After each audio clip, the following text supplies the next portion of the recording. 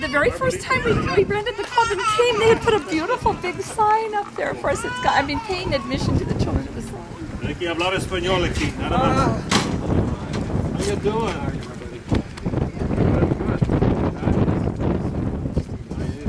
Eh, Happy New Year.